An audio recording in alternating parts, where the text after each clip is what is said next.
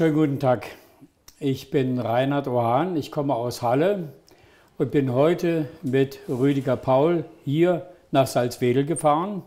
Wir wollen sein neues Buch vorstellen. Er ist der Autor, ich bin der Verleger des Buches. Das Buch heißt Absitzen. Jeder kennt vielleicht diesen Begriff, was es bedeutet, abzusitzen oder sich absetzen. In dem Falle ist es das Absitzen von einem Gefährt oder einem äh, Fahrzeug der Nationalen Volksarmee, denn der Rüdiger Paul war Ende der 70er Jahre bis Anfang der 80er Jahre bei der NVA gewesen und Absitzen, das ist ein Begriff, der ihn heute noch bis in den Traum hinein wahrscheinlich verfolgt, denn es wurde ja ein Buchtitel daraus. Also ich bin äh, erstmal sehr dankbar, dass wir hier in Salzwedel sein dürfen. Schöne Stadt, lange Fahrt, alles prima hier. Der Hintergrund ist herrlich, man sieht es, man könnte sich gleich erfreuen, nicht nur an uns, sondern auch an diesen Bildern. Ich möchte ganz gerne vielleicht zum Buch Absitzen äh, was als Verleger was Generelles sagen. Das Buch beschäftigt sich äh, mit der Grenzsituation in der damaligen DDR und mit der Nationalen Volksarmee weil hier in der Nähe von Salzwedel die Grenze auch verlief. Diese Grenze war ja nicht nur eine Grenze zwischen äh, Ost- oder Westdeutschland, sondern eine Grenze zwischen äh, der westlichen und ich sage mal östlichen Hemisphäre der Welt. Ja, hier gab es den äh, sozialistischen Block, den Warschauer Pakt oder das sozialistische Lager im Osten und dort gab es dann die äh, NSW, haben wir es genannt, das nicht-sozialistische Wirtschaftsausland, das war das kapitalistische Westeuropa beziehungsweise die gesamte äh, kapitalistische oder westliche Welt.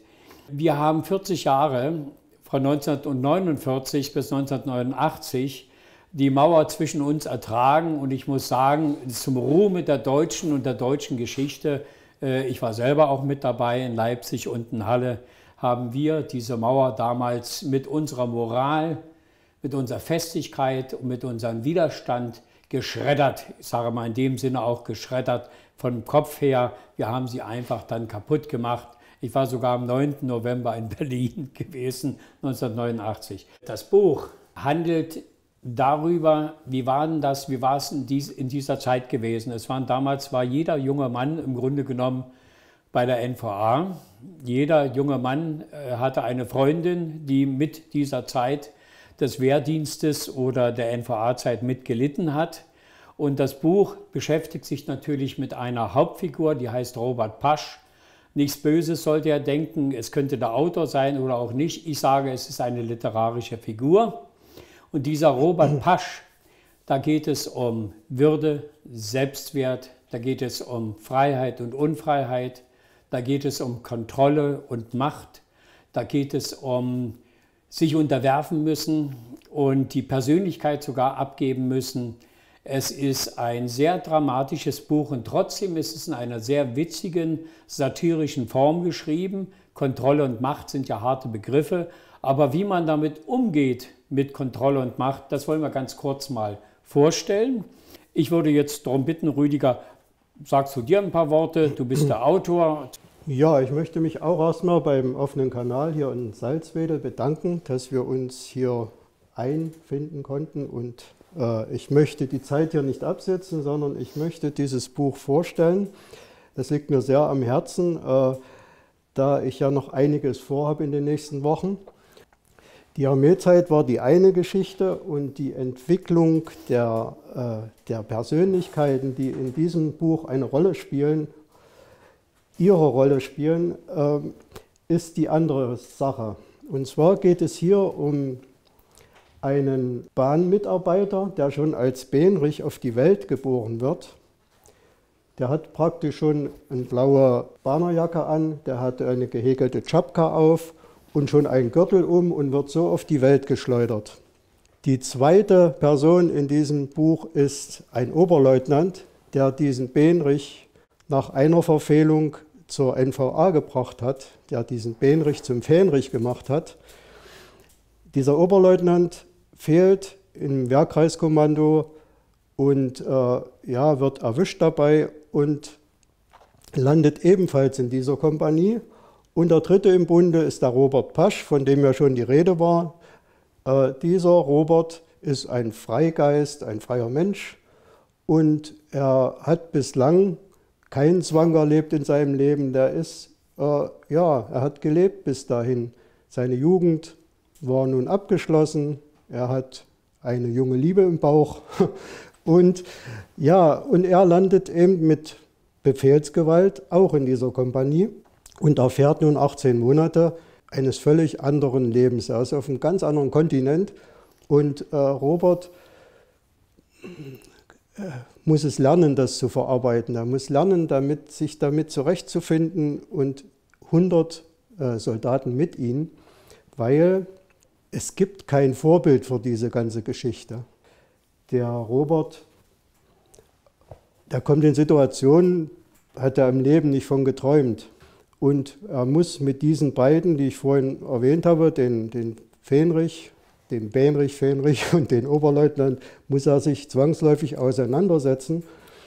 Und es sind wirklich die kleinen, die kleinen Dinge, die zählen und die auch das ausmachen, was das Stückchen Freiheit noch bedeutet, ja, auch äh, für ihn und für die anderen Soldaten. Und äh, immer wieder äh, das zu beweisen und immer wieder das aufrechtzuerhalten, das ist eigentlich äh, an den kleinen Dingen erklärt, das ist eigentlich äh, meine, meine Geschichte, mein, äh, was ich eigentlich mitteilen möchte. Ja, dass ein, ein Mensch sich doch wehren kann und er kann absitzen. Der muss nicht da oben kleben bleiben unter der Decke und sagen, ich muss jetzt hier alles erfahren, ich muss jetzt alles tun, was äh, verlangt wird. Das ist nicht, äh, das war auch nicht mein Sinn der ganzen Sache.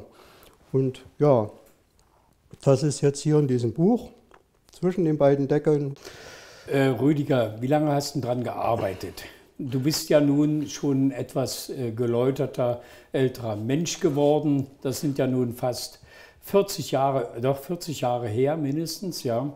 Und äh, es muss sich ja auch äh, nicht nur geläutert, es muss sich auch gequält haben, beschäftigt haben. Mhm. Und irgendwann kam dann der Punkt, wo du das heraus äh, geschrieben hast. Du hast es ja nicht herausgebrüllt, das geht ja auch, nee, wenn man eine Therapie macht. Ja, nicht der Mensch da. Und wie, viel, so wie viele Jahre hast du daran gearbeitet an diesem Buch? Ja, ich muss sagen, die Zeit, die du jetzt beschrieben hast, die muss erstmal gelebt werden, um äh, erstmal einen Überblick zu bekommen. Was war, man kann das gleich schreiben, man kann das mit, mit 19 mhm. Jahren schreiben, aber das ist was anderes, als wenn ja. ich das jetzt äh, wiedergebe. Weil man muss das gelebt haben, diese Zeit. Und man muss äh, Beispiele finden, auch in der Jetztzeit, ja. Die gibt es ja nun schon wieder, ja. Es wird ja schon wieder fleißig aufgesessen, statt abgesessen, ja. Ich habe sechs Jahre daran wirklich geschrieben, recherchiert, äh, mir Gedanken gemacht über die, über die Figuren, über den Leidensweg in Anführungsstrichen und äh, ja, dann nochmal ein halbes Jahr bestimmt im Verlag, die ganze Sache mit, mit Lektorat und allen Dingen.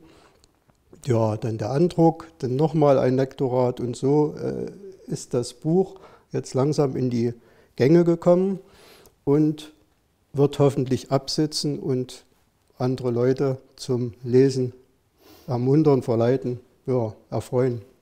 Wenn du jetzt heute auf den 18-, 19-jährigen jungen Mann zurückblickst, ja, der da in dieser großen Episode dieser Hauptrolle spielt und der sich gegen diese kontroll- und machtsüchtigen Leute, die du beschrieben hast, mhm. dann wehrt oder wehren muss auch, weil er ja auch seinen Selbsterhaltungstrieb irgendwie ihn da auch natürlich zum Teil gesteuert hat. Du bist aus einem ganz äh, normalen, äh, vernünftigen Zuhause gekommen und dann begann mit einmal der Tag der Musterung und da würde ich gerne mal darum bitten, dass du da so mal eine Seite vorliest, mhm. wie das war, mhm. wie du vom, ich sag mal, vom Regen in die Jauche gekommen bist in dem Sinne. Ja. Denn du konntest dir gar nicht vorstellen damals, was da auf dich zukommt und was da mit dir passiert. Man ist ja doch sehr unschuldig, sehr jung mhm. und ich sage mal auch sehr vertrauensselig und naiv mit 19 Jahren. Und dann steht man mit einmal vor den Leuten, die die Uniform schon anhaben und die die Befehlsgewalt haben. Wenn du das äh, mal vielleicht mal ja, die, uns erzählen würdest mm, oder lesen würdest. Ja, die Vorstellung war natürlich äh, gruselig, ja. Da, da kam es von, von Freunden, von Kumpels, die schon gedient hatten, ältere, ja diese typischen Geschichten von der Musterung und von, von dort in der Kaserne, was da alles mit den Menschen angestellt wird und so. Äh, ja, darauf kommt es mir aber hier in dem Buch nicht unbedingt an, weil äh, das, das, kennt, das kennen viele, das wissen viele, das, das ist so, äh, ja, es war einfach so, wenn man aus einem Leben kommt, das bunt war, ja, bunt. Das kommt auch hier öfters noch vor, weil dem Fähnrich wird auch ein buntes Leben versprochen, ja, und er endet im, im, im Grau-Grün, ja, im Grau-Grün. Alles, was ihn umgibt, ist entweder, äh, sind entweder Spanholzplatten, braune Spanholzplatten oder Sprellagartische und braungrüne äh, Fahrzeuge und pff, angefangen vom Feldflaschenbecher. Du kommst aus so einem Leben, dein Zimmer zu Hause ist bunt, ja, da sind, da sind Poster an den Wänden, da tönt Musik, das ist schrill, das ist einfach äh, ja, das Leben, ja, die Jugend. Ja. Da sind Freunde drin, da ist die Freundin da, äh, man hat so seine Ideale, seine Idole, ja, den geht man nach und dann liegt plötzlich so eine graue Karte auf dem Tisch, dann kommt der Vater dazu und sagt zu dir, die vergessen keinen. Und dann wird das Gefühl langsam mulmig, es wird ernst. Ich würde mal gern eine Sache erzählen, wie das so mit der Vorladung, äh, ja, der, der, erste, der erste Versuch, die erste Berührung im Wehrkreiskommando zur Musterung. Nach der Abgabe seiner Vorladung setzte sich ein bürokratischer Prozess in Gang. Wie das Rädchen eines Uhrwerks begann sich eine ältere uniformierte Genossin zu bewegen. Emsig robotete sie in einem blechernen Aktenschrank herum. Nach kurzem Klickern und Klackern hielt die Dame einen grünen, grauen Hängeordner in der Hand. Robert erinnerte die mechanischen Abläufe an die Personenwaage in der Bahnhofshalle. Der Akte wurde ein Fragebogen entnommen und in die Schreibmaschine eingespannt. Wie aus einem Stück gemeißelt kamen dann die Fragen. Name, Adresse, geboren, am, in, mit geschulten Argwohn wurde jede Antwort nochmals hinterfragt. Sämtliche Angaben klimperte die Schreiberin auf das welke A4-Blatt. Etwaige Unstimmigkeiten korrigierte die Soldatin emotionslos. Robert Andreas Pasch wurde sich seiner schleichenden Anonymität bewusst. Ganz deutlich empfand er die unsichtbar wirkende Kraft im Räderwerk dieser Ohnmacht. Nach einer knappen Einweisung forderte man Robert auf, die Sachen bis auf die vorgeschriebene Turnhose auszuziehen. Mit zehn weiteren Mustermännern hatte er aus und die Angetretenen glichen einer Turnerriege. Bewegung war nur nach Aufruf erwünscht. Gleichmäßig trotteten elf Geladene durch den Parcours der Musterstuben. Die gedrückte Stimmung wirkte durch hilflos angesetzte Witzeleien noch trostloser. Grüne, schwarze, weiße, blaue und rote Turnhosen schoben sich unbeholfen durch die Räume. Damit bekam die Szenerie einen sportlichen Akzent. Jedoch wirkten die jungen Körper wie ein Strauß verwelkter Herbstblumen. Durch vielfach verdunstenden Körperschweiß roch es bald nach dem dazugehörigen Blumenwasser. Der Achtkampf wurde mit der Blutentnahme, einer Urinspende und dem Wiegen gestartet. Es folgten das Vermessen der Körper, ein Sehtest, der Hörtest und die Lungenvolumenmessung. Im Anschluss daran wurde Robert beim Musterungsarzt vorstellig. Robert erkannte das Gesicht des Mannes sofort. Unverkennbar handelte es sich hierbei um Dr. Cumulus, den Frauenarzt von seiner Freundin Sira. Er war der Mensch, der Sira die Pille verschrieb. Sah so die ausgleichende Gerechtigkeit aus, von dem so oft die Rede war? Vor diesem Herrn galt es, die Turnhose fallen zu lassen. An der rechten Wand schaute wie durch eine geöffnete Luke Honey aus einem Bilderrahmen. Sandmännisch blickte er von oben herab. Robert setzte ein Stoßgebet in dessen Richtung ab. Bitte, Erich, hilf! Du bist doch in dem kleinen Land so etwas wie Gott. Rustekuchen, schien er zu sagen, denn das Flehen folgte weder, dem Flehen folgte weder Wort noch Tat. Ein wenig brüde war Robert schon. Es bereitete ihm Unbehagen, sich fremden Menschen nackt zu zeigen. Die Turnhose hing zum Greifen nah über der Stuhllehne und er stand dem Frauenarzt in voller Blöße gegenüber. Verlassen kam er sich vor, wie ein Waisenkind. Was folgte, waren direkte Fragen nach Haut- und Geschlechtskrankheiten sowie Untersuchungen der Leisten, des Bauchnabels und der Hoden auf Brüche. Robert genierte sich. Warum nur? Das wusste er selber nicht. Er hatte sich daran gewöhnt. Fertig, Sie dürfen sich anziehen, hieß es. Schwanger war Robert jedenfalls nicht.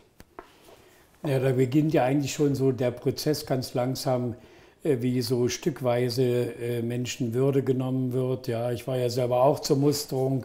Ich kann mich noch daran erinnern, wie ich mich bücken musste und zwischen meinen Beinen sah ich da hinter mir, ich hatte nichts an, zwei Krankenschwestern stehen, die sich dann heftig amüsierten über meine Körperhaltung. Also ich kann das total nachempfinden, obwohl es vielleicht zehn Jahre vor deiner Zeit war. Mhm. Ja, das war 1904, 67 war das gewesen. Oh. Ja, da war ich zur Musterung.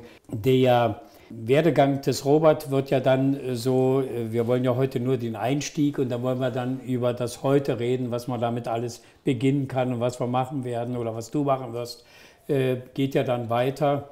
Es wird ihm erstmal, sage ich mal, über die Scham ein Teil seiner Würde genommen. Er ist jetzt mit einmal Soldat oder soll es werden und es wird sich alles in ihm sperren, das kommt ja aus der Geschichte heraus. Und dann geht das ja einen Schritt weiter. Ja, ich habe das mal so dann so für dich noch herausgesucht. Ja, sprachlos durch Schönheit heißt das äh, äh, nächste Kapitel, äh, wie da die Menschen dann Schritt für Schritt äh, sozusagen umgebastelt werden. worden ja, sind, genau. ja, nicht? Oder umgedübelt worden sind. Sie waren ja danach andere Personen nach wenigen Wochen und Monaten, ja, nicht, wenn der mhm. Grundwehrdienst begann. Und das ist eigentlich mal interessant für heute, denn es gucken ja auch bestimmt junge Leute den offenen Kanal.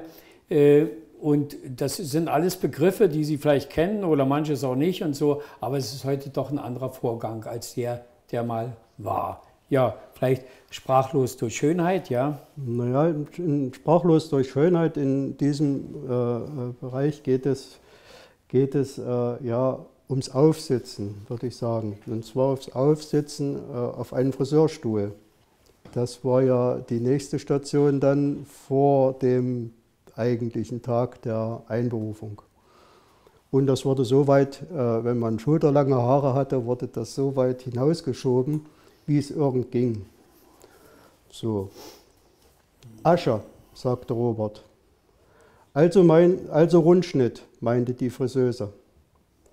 Schweigend hob er die Schultern und nickte.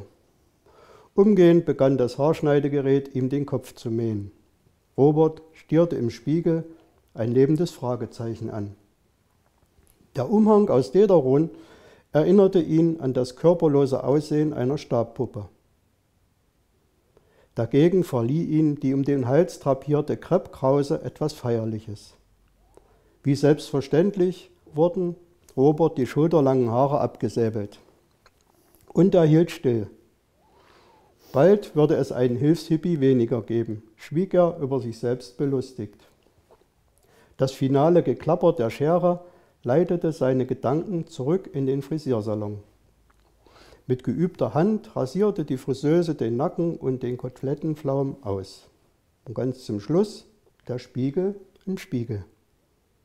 So sah er also aus das zukünftige Soldatenkopf. Weit gefehlt, denn selbst für den Haarschnitt gab es Vorschriften. Eingehüllt in eine Wolke Pitralon verließ der Geschorene den Frisiersalon. Wohlbefinden sah anders aus. Ein Abschied ohne Freunde war für ihn bestenfalls ein Fortgang. Sein bester Freund schipperte mit einem Handelsschiff zwischen Gibraltar und Piräus auf hoher See. Die beiden hatten sich bereits vor zwei Wochen verabschiedet. Dem Soldaten Spee gleichtuend legten sie dabei den Termin für ihr Wiedersehen fest. Nach dem Krieg 18 Uhr im Krug oder doch eine Viertelstunde eher, falls man sich verspätet. So würde es sein. Dessen waren die Freunde sich sicher. Im Glasbiergeschäft direkt neben dem Frisiersalon gab Robert den Kumpels seinen Ausstand. Eine Feierlaune kam dabei nicht auf. Es gab nichts zu feiern.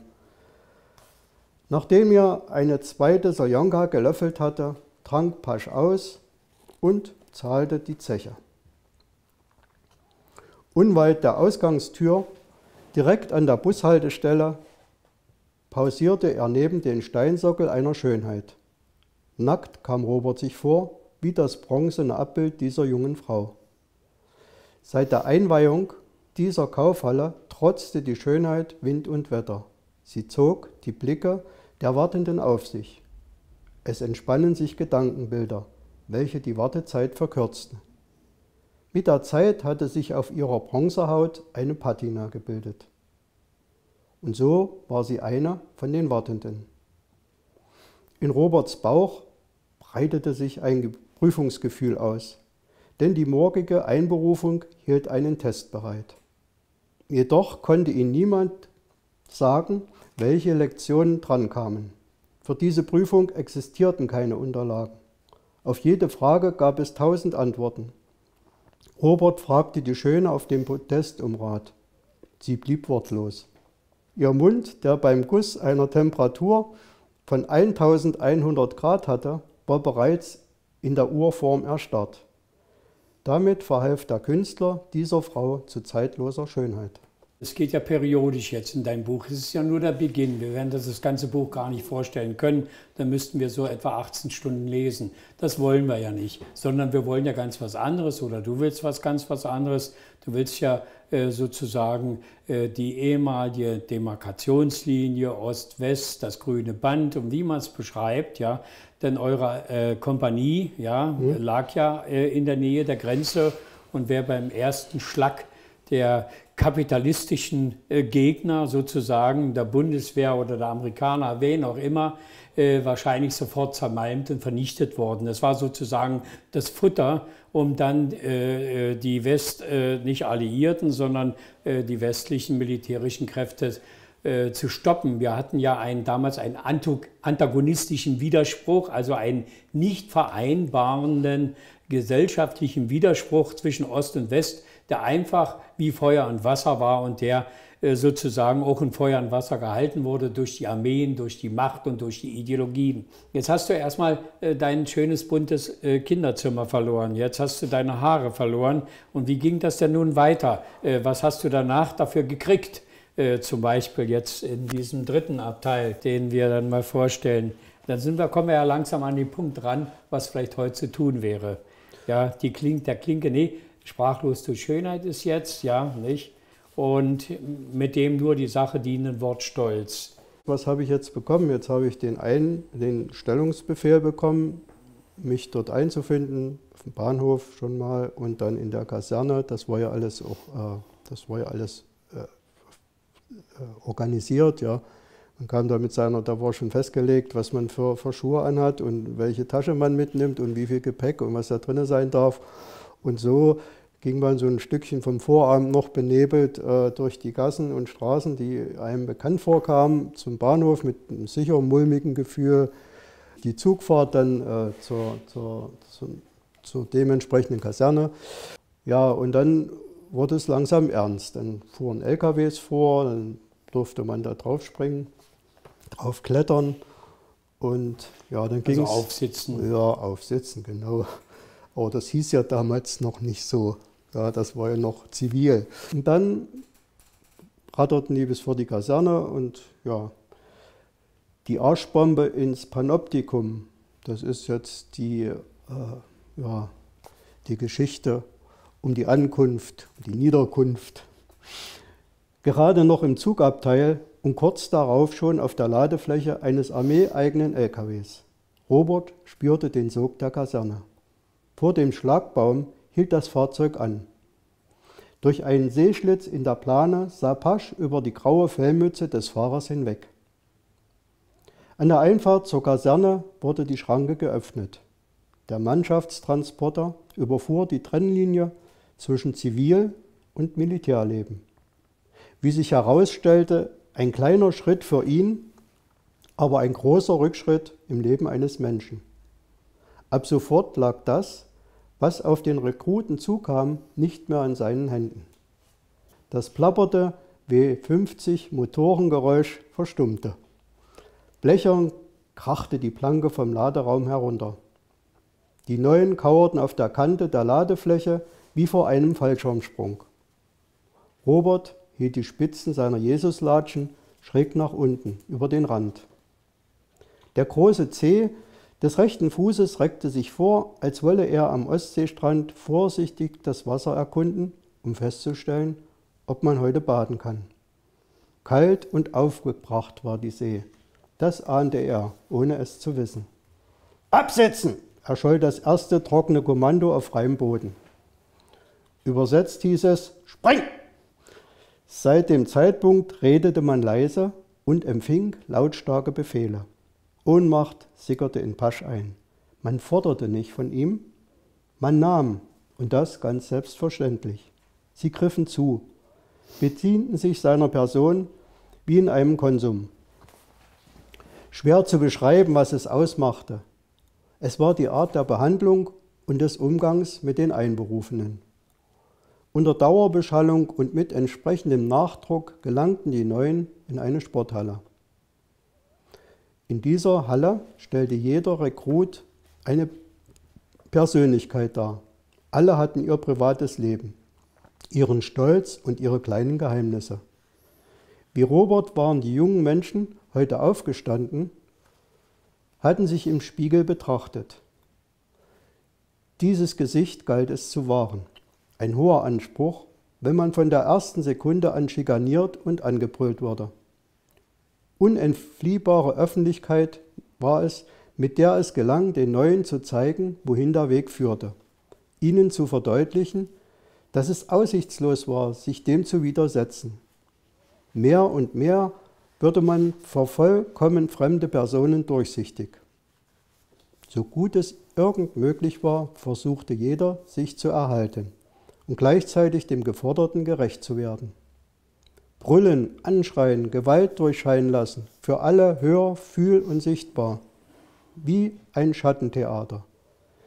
Dessen Akteure sah man zwar auf der Mattscheibe, doch wer dort stand, blieb dem Auge verborgen. Was war das? War das hier der unendliche Faden, aus dem die älteren Kumpel ihre Armeegeschichten webten? Hier ging was nicht mit rechten Dingen zu stellte dieses uniformierte Panoptikum tatsächlich den Beginn des Ehrendienstes dar? Tja, das war so die Frage ja. für mich. Mhm. Wir können ja dann äh, an der Stelle auch weitergehen äh, und den nächsten Abschnitt dann lesen. Äh, das wäre die, die fein gerippte Mumie, ist das richtig? Ja. Ne? Ja.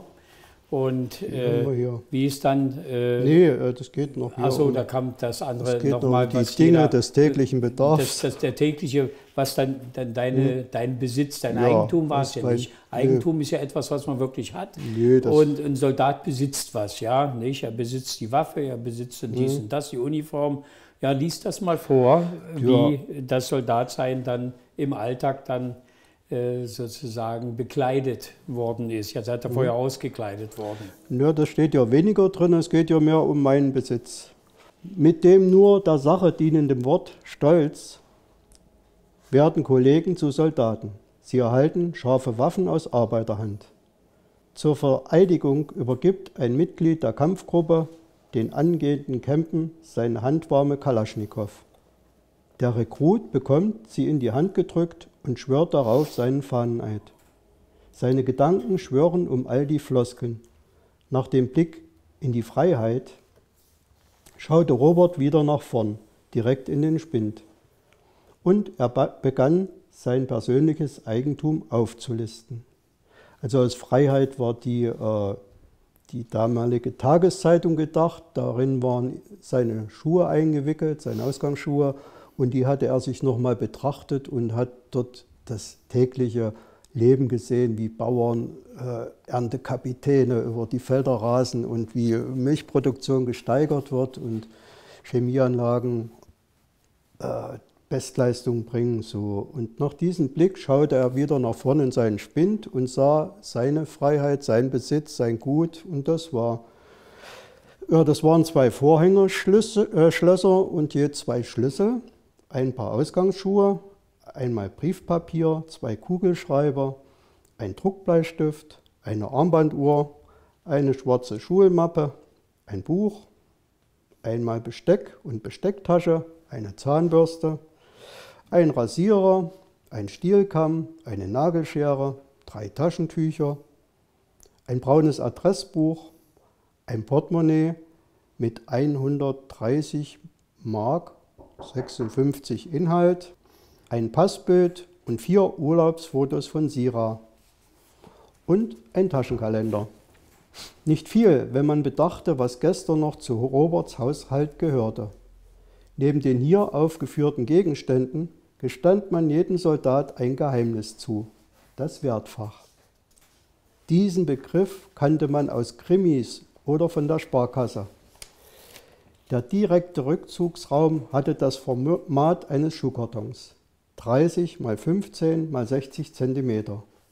Die Rekruten bekamen gesagt, dass niemand in Abwesenheit das Recht habe, diesen Holzimitat Safe zu öffnen. Das Fach gehörte zum erweiterten Intimbereich des Soldaten. Ein Vorhängeschloss sicherte die Privatsphäre. Wie ein Keuschheitsgürtel vermittelte es dem Eigentümer zwar Sicherheit, gewisse Zweifel blieben aber dennoch. Vielleicht wäre das Schloss vor dem Hosenschlitz eines Vorgesetzten besser aufgehoben. Der Privatbereich war vor dem Betreten der Kaserne so groß wie die Unendlichkeit der Gedanken. Aber Robert fand keine Zeit mehr, Werte zu vermissen. Die Abläufe ließen seine Wünsche verstummen und es ging um mehr, um den Kampf für den Weltfrieden zum Beispiel.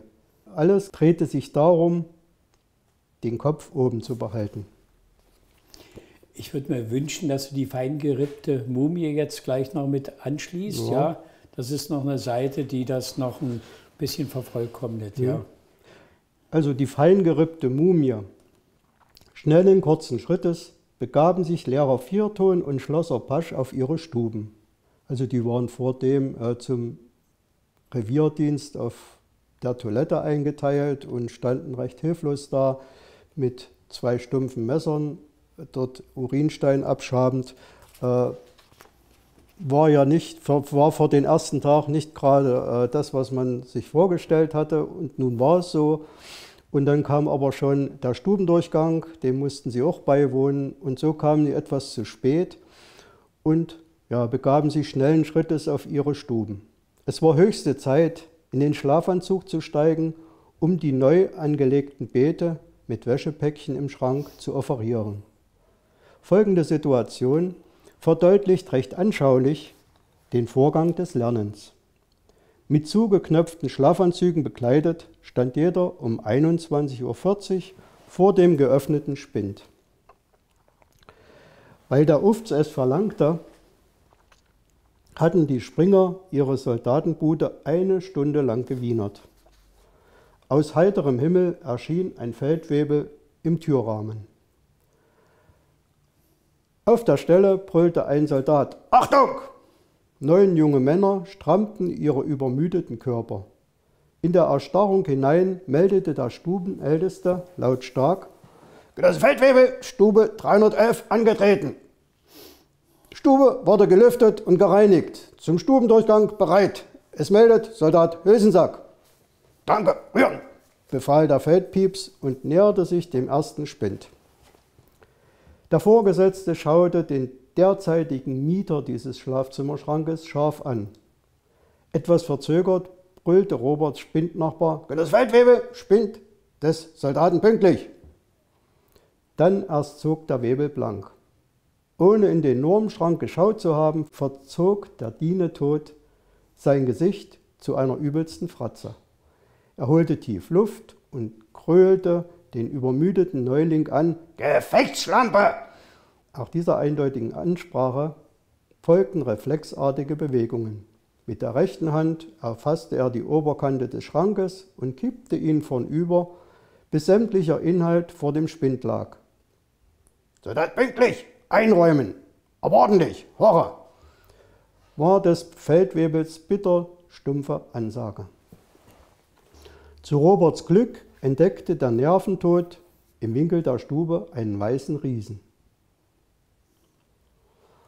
Der lange Hohn hatte es nicht in seinen Schlafanzug geschafft. So stand er mit langärmlicher Unterwäsche da. Ein weiß, graues, fein geripptes Gipsrelief. Und was sind Sie für eine Mumie? fragte der Stubenkontrolleur den noch immer stramm stehenden Hohn. Genosse Feldwebel spinnt der Soldaten Hohn, antwortete er. Alarmpäckchen vorzeigen, rührte es einsilbig aus dem Feldwichs heraus. Der noch immer in weißer Rippwäsche gekleidete Hohn verstand es, engelsgleich und dennoch exakt die Bude zu queren. Blindlings steuerte er auf seine Schlafstadt zu. Vor jedem Doppelstockbett standen zwei schlichte Hocker. Sie dienten keinesfalls als Nachtschränkchen. Im zivilen Leben befand sich auf einer Ablage neben dem Bett, meist der Wecker, lag ein Buch oder bei den älteren Herrschaften das Glas mit den dritten Zähnen. Hohn stand am Schemel und präsentierte mit einer holprigen Meldung sein militärisches Aufbauwerk. Den Hocker sollte das sogenannte Alarmpäckchen krönen. Laut Dienstvorschrift hatte die äußere Form der abgelegten Unterwäsche zweier übereinander gestapelter weißer Pappkartons zu ähneln. Geometrisch exakt hatten deren Kanten mit der Sitzfläche des Hockers abzuschließen. Der am Bettrahmen ausgerichtete Schemel bot dann einem paar blitzblank gewienerten Stiefeln ihren Unterstand. An seinem Päckchen angelangt, stellte der lange Hohn dieses Gepäck dem Webel vor. Alarmpaket des Soldaten Hohn. Der Feldwebel sah, was er sah. Selbst vor äh, Robert als Neuling hatte der Aufbau etwas von einem zerlaufenen Camembert. Schlaff hing das angeraute Rippgewebe über die Hockerkanten. Hohn, Hohn! Sie sind der blanke Hohn! Knallrot vor Rage schnappte sich der Unteroffiziersdienstgrad den Schemel und schmiss ihn wutentbrannt um. Die Wäsche lag unterm Bett.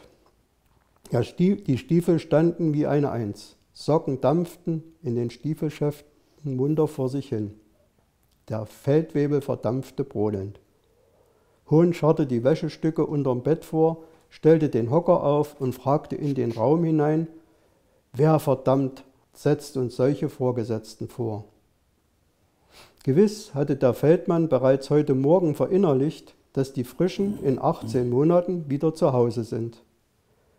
Er jedoch würde die folgenden Jahre weiterhin ungestüm durch die Soldatenstuben toben müssen.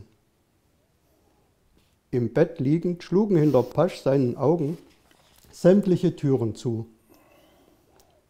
Die Zimmertür zu Hause, die Badtür, die Küchentür, die Wohnungstür, die Briefkastentür, die Haustür in der Willi, die Pendeltür an der Bahnhofshalle, die Waggontür, die Abteiltür, die Speisewagentür, die WC-Tür, die Hosenstall-Reißverschlusstür, die Mitropa-Tür, die Bahnhofspendeltür, statt Tür eine LKW-Planke, ein Schiebetor, eine Schranke, eine LKW-Planke, die Doppelflügeltür einer Sporthalle, die Tür des Bataillonsgebäudes, die Soldatenstubentür, die Spinntür, die Wertfachtür, die Kompanie-Toilettentür, die Klotür, die Waschraumtür, die Stubentür, die Spinntür, die Speisefachtür und nochmal die Spinntür.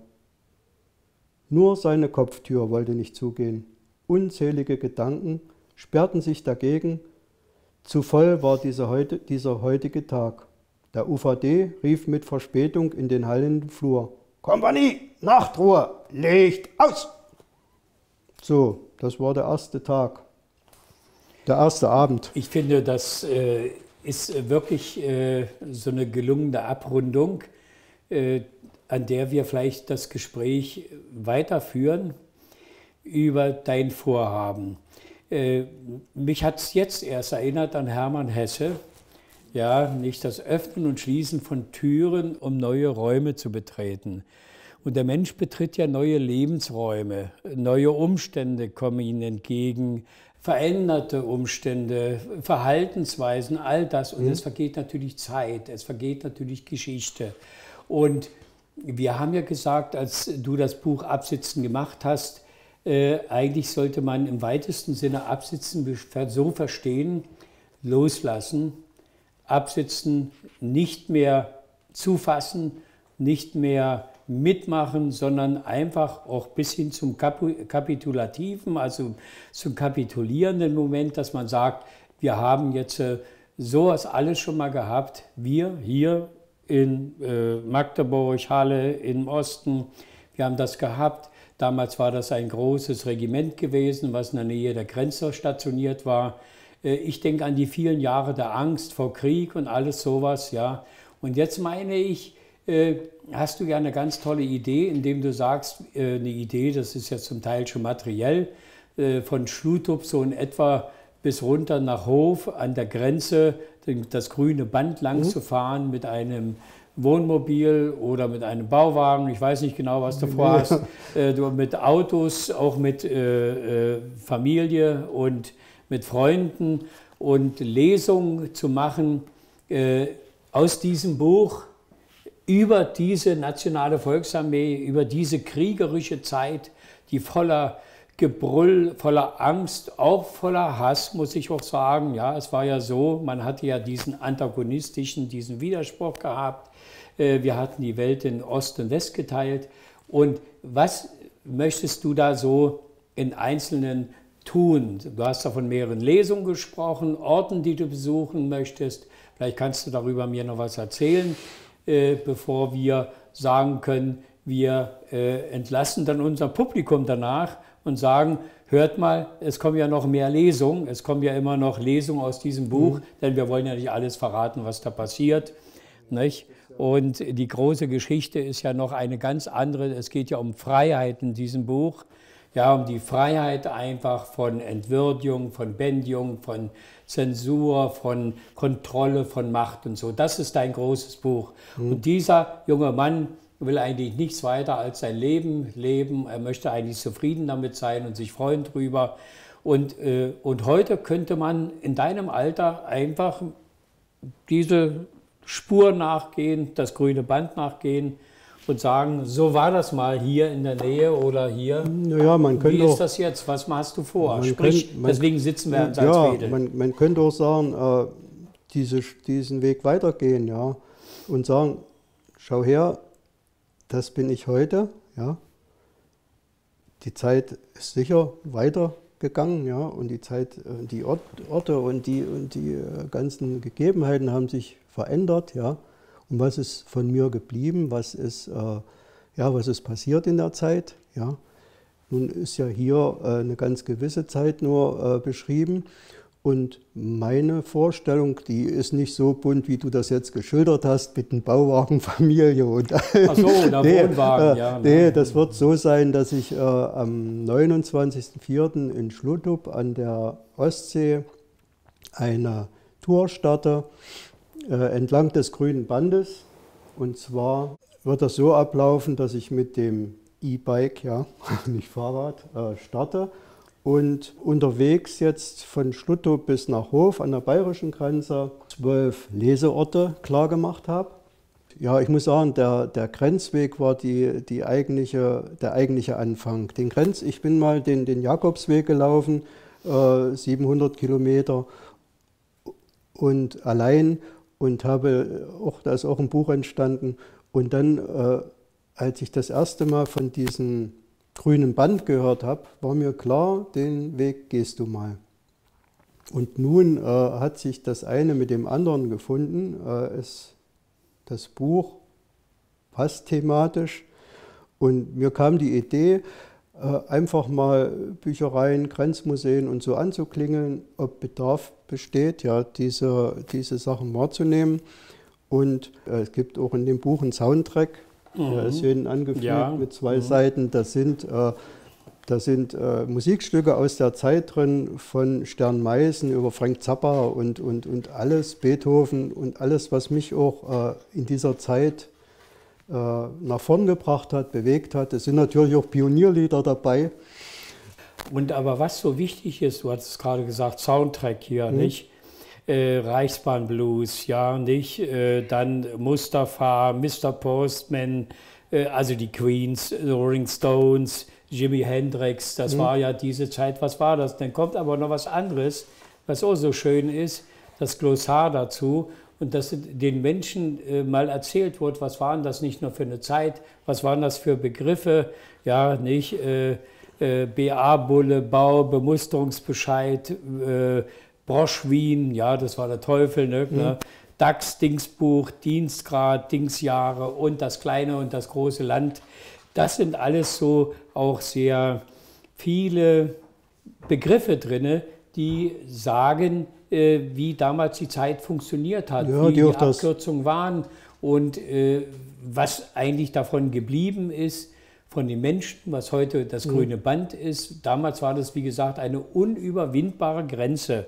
Ich mhm. kann das sogar beweisen äh, äh, und zu mir selbst gesagt, ich war ja jemand, der 1962 versuchte, über die Mauer in West-Berlin äh, in den Westen zu türmen, dorthin zu kommen. Ich wurde festgenommen und wurde zwei Tage später in ein Heim eingewiesen.